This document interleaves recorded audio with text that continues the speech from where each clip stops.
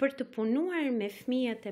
work with children vjeç që kanë një aged 4 or 5 years who have a low level of development, vonë pra rreth who started therapy late around this age and have difficulty scanning the unë do t'ju tasks on the table, përdornit këto mënyra të I would advise you to use these simple methods to learn raising the visual field.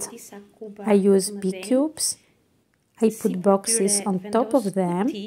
Kuti ku objektet The objects which are used for the task of cognition are objects of daily life.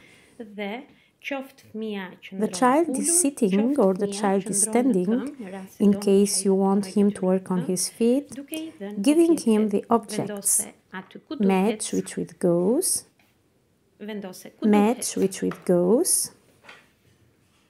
match which with goes.